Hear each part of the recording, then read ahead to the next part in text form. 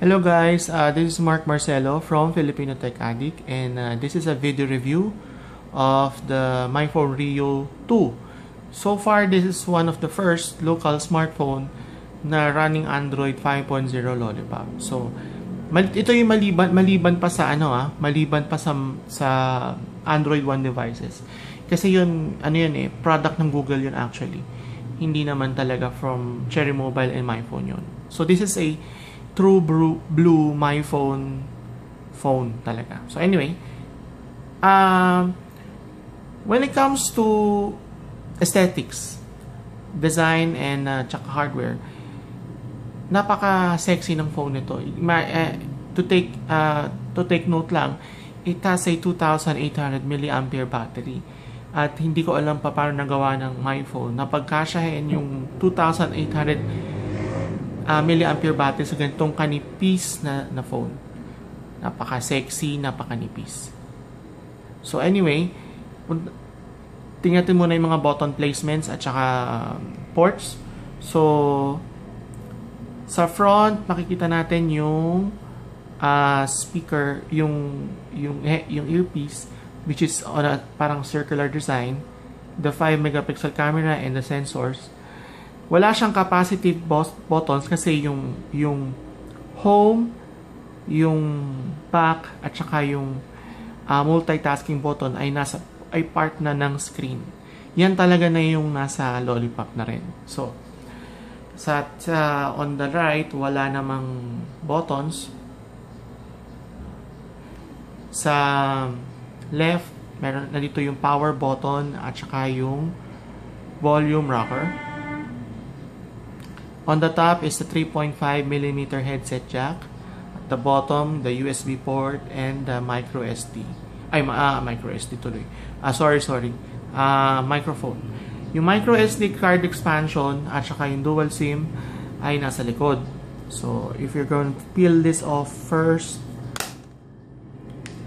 so this will reveal uh, two SIM card slots. So, this is SIM 1 and SIM 2 and the micro SD card slot expansion. This is non-removable. Ito yung 2,800 mAh battery. As you can see, sealed na sealed siya. Non-removable. So, okay. Sa likod, ah, uh,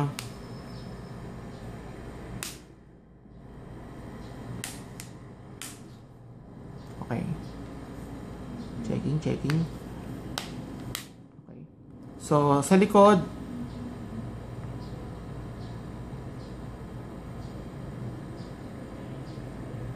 sa likod ay yung 8 megapixel camera, yung flash, phone branding, Rio branding, and yung speaker grill na napakalakas ang audio output. So, isa yan sa pinakamalakas. Display, this is one of the best local smartphone displays I've ever seen. Napakaganda ng, ang sarap gamitin outdoors. Kaya niyang i-match yung harsh sunlight at outdoors. Kaya niyang mag, mag, magkaroon ng napakagandang brightness output. Magagamit mo talaga siya under direct sunlight. Actually, I posted a, a an Instagram photo showing how powerful yung screen niya under direct sunlight. As in, may, may, nasa, ginagamit ko siya sa ilalim ng araw at napak, wala lang. Ganun. Talagang kitang-kita mo yung, ano, malino na malinaw yung lahat ng icons, lahat na, lahat na nakikita, nakikita sa display, malinaw na malinaw. So anyway, punta naman tayo ng software. Software naman, uh, this is running Android 5.0 Lollipop, pero meron siyang uh, my phone UI, its own UI on top. So, wala siyang app tray. So, lahat ng apps mo ay nakakalat sa home screen. Ngayon, ang gagawin mo lang, gawa ka lang ng folder kung if you want to organize your apps, kung ayaw yung mag-scroll na mag-scroll ng ganyan. So, maglagay lang kayo ng mga folders like this one. So, nandyan na, ilma, like ito, lahat ng Google apps ko ay nandito. So, parang ganon. You can do that sa phone ninyo. Or, you can download a a launcher which ako naman ako ang, ang favorite launcher ko kasi personally is Google Now launcher. So nag download ko, iset nyo siya as default. So pag sinet nyo siya as default, ayan na. Ayan na yung app tray. So, bam. So, yan. Google Now launcher. So, kung gusto nyo ng ano, kung gusto nyo ng uh, nung yung old launcher ng my phone, you can stay it as it is na ganyan. So, anyway, Android 5.0 Lollipop is a big change na sa from KitKat. So, ano yung mga significant changes? Sa notification lang. So, pag, pag meron kayo notification, ayan, so yan ang notifications ninyo. Ngayon, kung idadrag nyo pa yan further, lalabas na yung mga quick settings niyo like yung Wi-Fi, Bluetooth, uh, yung signal indicator, tsaka yung ito itong ginagamit kong network, airplane mode, flashlight, location, uh, cast screen, yung audio profiles niyo, data connection, and yung auto rotate. Ngayon, uh, to you can also go to the, sa mga sa complete set of settings by pressing this one. Tsaka yung battery indicator. Ngayon, sa multitasking naman, iba na yung style ng multitasking. So, if you, you know, if you're gonna notice, nakaganyan siya. Naka card stack siya. So, if you want to close an app, like this one, close lang. Yun. When it comes to gaming naman, uh, let's try the trigger. So,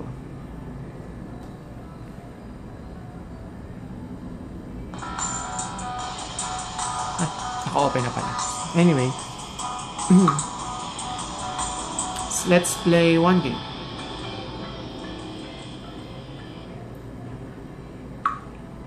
Medyo it takes, it struggles a little bit lang ah, pag medyo, it takes time to load kasi medyo malaking game. So, so sa mga Dead Trigger fans, medyo, binibigyan ko lang kayo ng ano na, hindi, it can run well, pero syempre,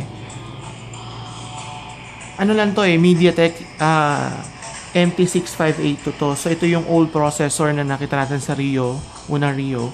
It's 1.3 GHz with 1 GB of RAM. So, yun lang.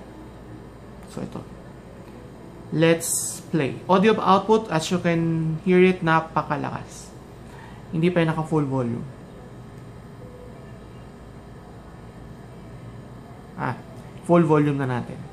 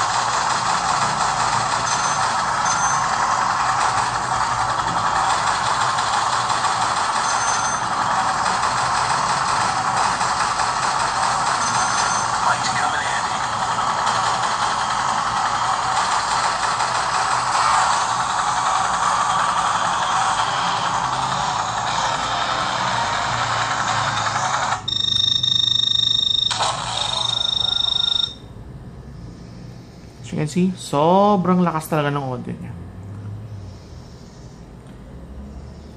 Hindi lang malakas yung audio niya, maganda rin yung quality. So, mag-try tayo mag-play ng ano, Spotify song. Wait lang. Okay, mag-try tayo. Mm-hmm.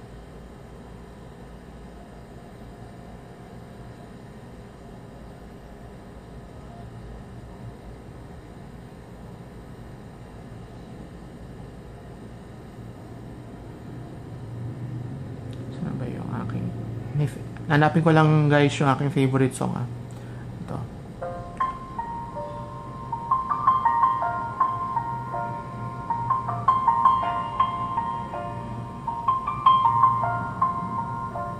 It's been a long day without you, my friend. And I'll tell you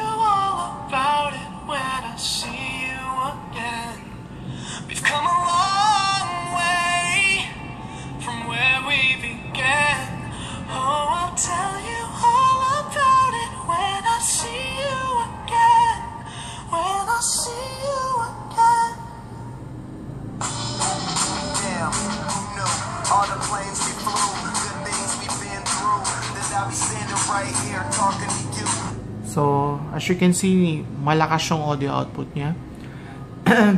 Another thing that I like about this phone is the battery life. So, kung ah ito ay et, kung nakikita niyo yung battery indicator.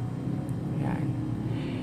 Maniniwala ba kayo na hindi ko pa yan sina-charge ah, since siguro mga 2 days ago. So, kasi I've been using this for casual use na.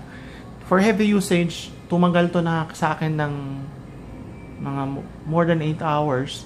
Heavy usage yun na. Pero for a casual use, ayan, no, hindi ko pa yan sinacharge. So, kayo na ang bahalang humusga. Ayan. Ayaw niya mag-focus talaga. Yan.